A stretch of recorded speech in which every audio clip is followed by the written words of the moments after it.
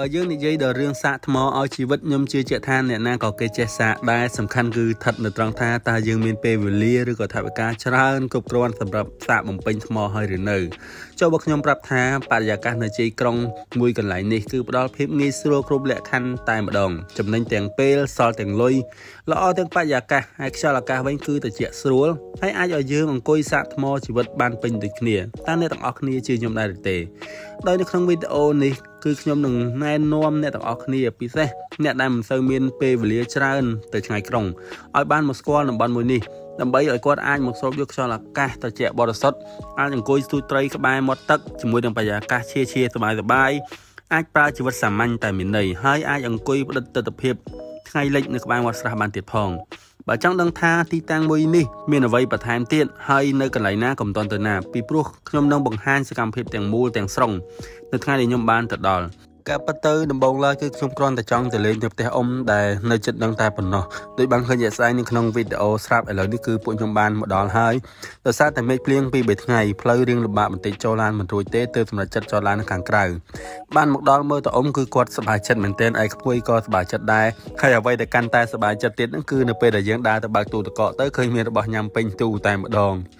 បកាបកងក្តាម ទំពាំងបាយជូរចាប់ឆាយហើយនេះវិញគឺជាពវៀនជ្រូកជាមួយនឹងសាច់ជ្រូកហើយខាងនេះវិញគឺក្តាមមីសួរហើយសម្រាប់មួយកញ្ច្រែងនេះគឺកូនត្រីស្រែអញ្ចឹងយើងចាប់ដើមលាងវាដើម្បីទុកប្រឡាក់ហើយមិនទាន់អស់ទេគឺនៅមានមឹកមួយចានទៀតផងហើយឥឡូវនេះគឺយើងចាប់ដើមកម្ដៅក្តាមឆាមីសួរពីព្រោះអីទៅតែយកចិត្ត ទូកកទេឆាត្រឡប់ចុះត្រឡប់ឡើងកលេចមើលទៅមុខ idol របស់ admin និយាយពីថារីកឡើងប៉ិនក្របឈីតែម្ដងពីព្រោះអីថ្ងៃនេះគឺមានក្តាមរបស់ដែលគាត់ចូលចិត្តខ្លាំងបំផុតទាំងសម្លទាំងឆាក្តាមនិងម្ហូបផ្សេងផ្សេងទៀតគឺយើងត្រូវរៀបចំកម្ដៅឡើងវិញទាំងអស់នៅអស់គ្នាដោយសារតែម្ហូបខ្លះកកខ្លះត្រជាក់ក៏ប៉ុន្តែចុងក្រោយគឺយើងសម្រេចថាយកម្ហូបតែប្រហែលមុខនេះមកញ៉ាំទេដោយសារតែយើងមានគ្នាតែ3នាក់ទេអញ្ចឹងម្ហូបដែលយើងយកមកញ៉ាំគឺមាន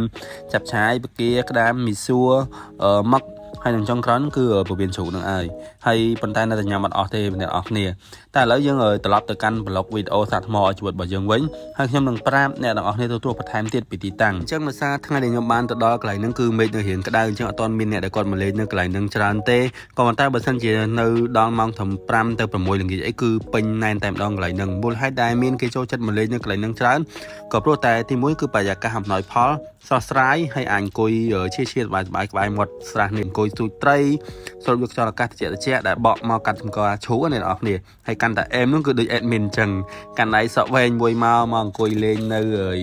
ក្បែរក្បែរក្បែរហ្នឹងអញ្ចឹងណាមើលគេមើលឯងបធូរភាពតានតឹងសម្រាប់មួយរយៈនេះវិញគឺខ្ញុំសង្កេតឃើញថាមានអ៊ំពូមីងដែលគាត់មានទីលំនៅនៅក្បែរហ្នឹងគឺគាត់ចាប់ដើមមកលក់ដូរកាន់តែច្រើនទាំងរបស់ឆៅទាំងរបស់ឆ្អិនតែម្ដង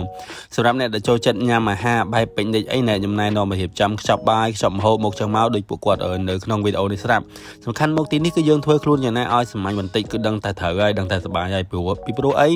គឺយើងមកទទួលបរិយាកាសបែបសុខស្រាយអ្នកនរគ្នាមិនមែនមក កន្លែងលំដាប់អីនោះទេអញ្ចឹងសម្រាប់អាហារដែលមានលក់នៅទីតាំងនេះខ្ញុំជឿថាទោះបីជាខ្ញុំមិនរៀបរាប់ច្រើនក៏អ្នកនរគ្នាអាចស្មានដឹងដែរសម្រាប់ទិដ្ឋភាពបែបនេះគឺសម្បូរទៅដោយគ្រឿងញ៉ាំសាមញ្ញសាមញ្ញតែឆ្ងាញ់ដែលនរណាក៏អាចញ៉ាំបានដូចជាប្រភេទប្រហិតបំពងបុកល្ហុងមីឆាត្រចៀកជ្រូកពោះវៀនជ្រូកគ្រឿងអាំងគ្រឿងខ្លែមនិយាយទៅគឺម្ហូបញ៉ាំងាយងាយសម្បូរបែបជាមួយនឹងភេសជ្ជៈផ្សេងផ្សេងតាមតម្រូវការអញ្ចឹងណាហើយចំណែកឯទិដ្ឋភាពចុងក្រោយនៃវីដេអូនេះវិញគឺខ្ញុំចង់បង្ហាញអ្នកនរគ្នាឲ្យបានឃើញពីទិដ្ឋភាពថ្ងៃលិចដ៏ស្រស់ស្អាតនៅជីក្រុងតែម្ដងនិយាយទៅគឺនៅក្បែរមាត់ស្រះទឹកនេះឯងស្រះទឹកដ៏ធំដែលយើងអាចអង្គុយឈៀឈៀនៅជុំវិញនឹងបានទាំងសងខាងហើយសម្រាប់ទីតាំងវិញគឺនៅលើផ្លូវបេតុងខាងក្រោយវត្តក្មួយប្រហែលជា2គីឡូម៉ែត្រតែប៉ុណ្ណោះអ្នកនរគ្នាសម្រាប់អ្នកដែលអត់ទាន់បានស្គាល់ពីទីតាំងវត្តក្មួយអ្នកនរគ្នាអាចចូលទៅ search នៅក្នុង Google បានដោយគ្រាន់តែវាយបញ្ចូលពាក្យថាវត្តក្មួយទៅគឺជាការស្រេចហើយហើយនៅពេលដែលធ្វើដំណើរមកដល់ទីតាំងវត្តគឺកុំភ្លេចជិះជិះតាមរបងវត្តទៅខាងក្រោយទៅផ្លូវបេតុងខាងក្រោយវត្តចាំតែដល់អ្នកនរគ្នារួចធ្វើដំណើរតាមផ្លូវបេតុងនោះទៅនឹងបានទៅដល់ហើយ អរគុណអ្នកទាំងអស់គ្នាដែលបានតាមដានវីដេអូនេះពីដើមមកជួបគ្នានៅវីដេអូក្រោយទៀតជម្រាបលា